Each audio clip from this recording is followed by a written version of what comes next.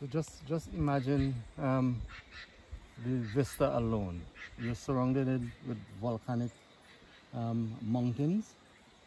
Um, this valley in particular, Vermont Valley, is known to conservation for the home of the St. Vincent parrot.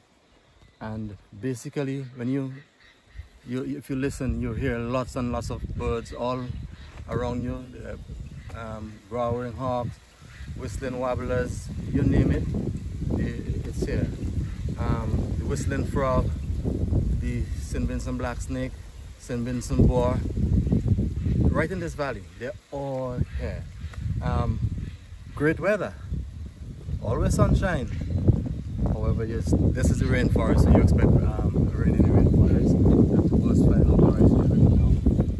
Um, silhouette is getting to you, but um, flying in abundance.